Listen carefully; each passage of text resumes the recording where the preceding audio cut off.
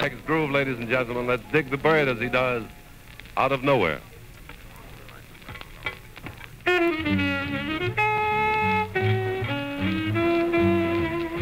When I hear Charlie Parker, what goes through my mind is the epitome of what jazz is supposed to be. We're talking about an unbelievable amount of soul. We're talking about a guy that that is able to express himself so purely.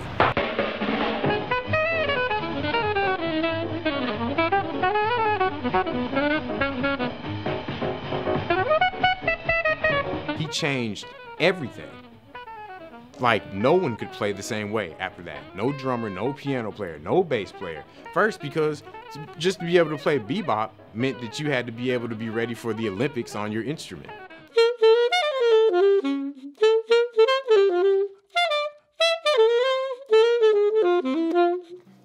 That's the, that's the difference right there. The tempo and the melodies were more rhythmic. Charlie Parker raised the bar for all musicians to come out of Kansas City because of where they're at.